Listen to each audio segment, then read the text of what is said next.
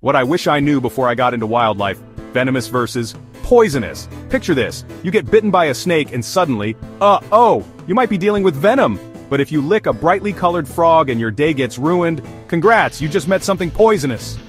The rule is simple. Venomous animals inject their toxins, think snakes, scorpions, and even some spiders.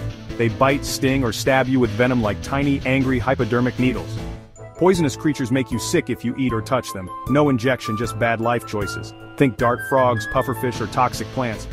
So if a snake bites you, that's venom. But if you bite a poison dart frog, well, that's on you, buddy.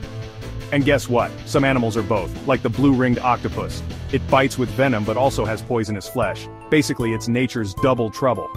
So now you know. Venomous equals, they attack you. Poisonous equals, you attack them. Bad idea. Still confused? Just remember, if it bites you and you die, it's venomous. If you bite it and you die, well, that was your mistake. Like, share and subscribe for more wild animal facts.